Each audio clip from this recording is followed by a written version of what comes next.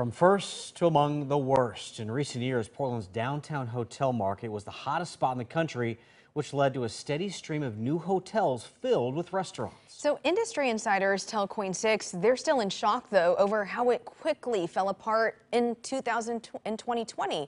So is Portland over? Tonight, our Wayne Havrelly takes an in-depth look at Portland's struggling tourism industry and the efforts to heal downtown's bruised reputation.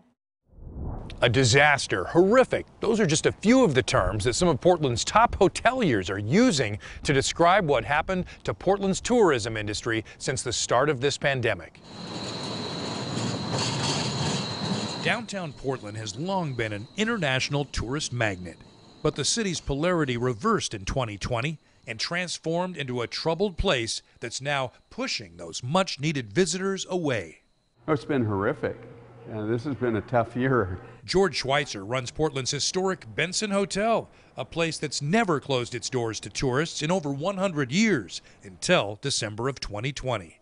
That's when the hotel's occupancy rate fell from around 90% before the pandemic to single digits. And so we had 165 employees before COVID hit. Uh, in December, we had uh, six employees. I had to lay everyone off. We closed for uh, most of December and all of January. The Benson is among 22 Portland hotels that temporarily closed, leaving thousands without work. The soaring 455 room downtown Hilton, directly across the street from the Benson, was also shut down and boarded up. Another dramatic example the brand new 600 room Hyatt Hotel, built with public funding to bring more conventions to town, had only been open a few months when the pandemic hit. Its doors closed, all its newly hired employees laid off for more than a year. Now, most of the closed hotels, including the Hyatt, recently reopened, but occupancy rates remain very low, which is why so many hotel employees are still out of work. One of the most painful things for us in our hotels is having to lay off 80% of your staff for an extended period of time. It's an extremely painful and an emotional thing. We have people that have been with us like family for you know, decades. Mike Daly manages several Portland hotels and is chairman of Travel Portland, the city's largest tourism marketing organization. So, if you could use one word to name 2020 and what it did to the Portland hotel industry, what would that be? one word devastating. KOIN 6 compiled data from STR, a hotel research company that shows occupancy rates in downtown Portland were at 77% in 2019, then plunged to just 31.8% in 2020. Year to date through April, downtown hotels are just under 27% occupied. We're one of the two worst hotel markets in the country right now, and it's to do with the civil unrest that's gone on for quite a period of time. While tourists have been avoiding the downtown area, occupancy rates at hotels near PDX, like the Sheraton, which Daly manages, have been holding up much better. In April, airport hotels had a 55% occupancy rate.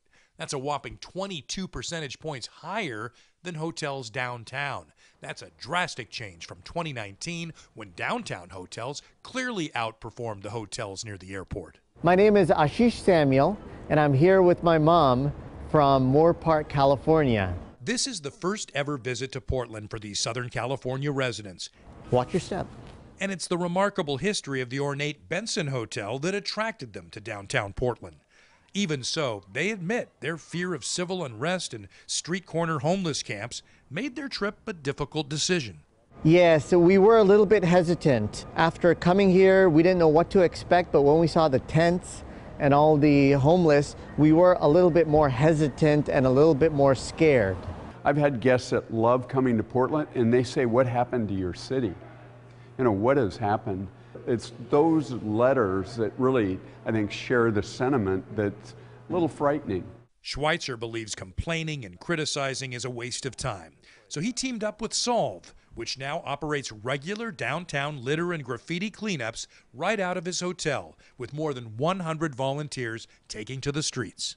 We've been doing that for the last seven months consistently. Pretty proud of that. It's important to note that our research discovered Portland is not the only West Coast market struggling to attract tourists. Hotel occupancy data shows that just like Portland, 2019 was a banner year for tourists in Seattle and San Francisco. But in 2020, the city by the bay plunged from a hotel occupancy rate of 85.2% to 40, and the Emerald City dropped from 79.3% to 27.6. That's actually worse than Portland during the same period. All three cities continue to struggle. I do believe the future is going to be very good for our city. This is a, a chance and an opportunity for us to reinvent our city. Uh, but it's going to take some you know, effort and focus to do so. Optimism does remain that Portland's black eye will eventually heal and the downtown will again attract back those tourists needed to bring back the city's hotel industry. However, there are no illusions about how much hard work it will take to restore downtown to its former glory.